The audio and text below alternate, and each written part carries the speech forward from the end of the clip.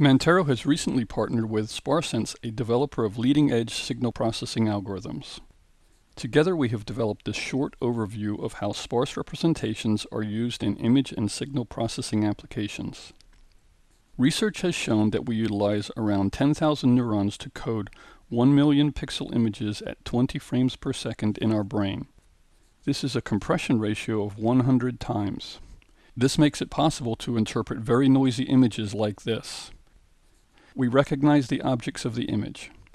Observations of how our brain processes visual and other sensory information was the genesis for developing mathematical algorithms that can be applied to image and signal processing applications for a variety of industries. So let's see a simplified example of how sparse representations work.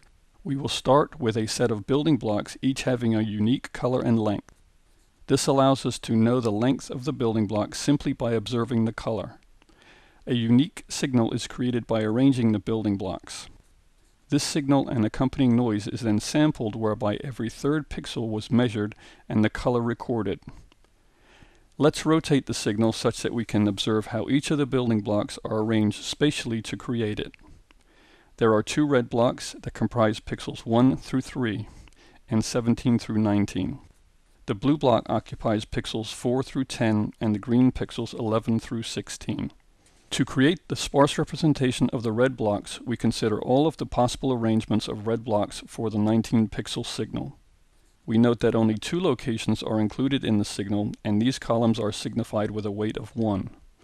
All other possible locations are indicated with a weight of 0. This is the sparse representation for the red signal. For the full signal, the sparse representation has four non-zero values, and the rest are 0. When combined, we can recreate the original signal. If we take our noisy sample from earlier and compute the sparse representation from this input, the only viable result is the original signal. Signals and images in nature are highly redundant. Highly redundant signals are very compressible and therefore have a sparse representation. Examples range from images, speech, sound, and in general any signal that has a pattern. The sparse representation is a highly compressed form of a signal which is well suited for transmission and storage. Since a random noise does not have structure, it is readily filtered out of the signal. Unlike traditional filters, this noise reduction does not cause changes in structure such as distortion or blurred edges when applied to video or images. Highly compressed images or signals can readily be recreated from the sparse representations with low computational cost. Another way to understand how sparse representation works is to take the example of an audio signal and its frequency spectrum, as shown by the Fourier transform. The same signal can be represented as a Nyquist sampled signal in the traditional way from which identical Fourier coefficients can be computed. More interestingly, we can compute the same Fourier coefficients from a smaller random sample of the signal with sparse representation-based signal processing. There are many applications that can benefit from signal processing techniques that incorporate sparse representations of signals.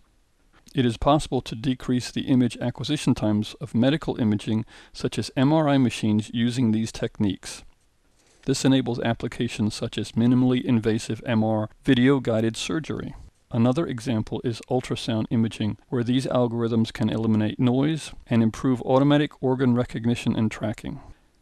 Sparse representation techniques can be used for many signal compression applications where small size and low cost of signal decompression are an advantage.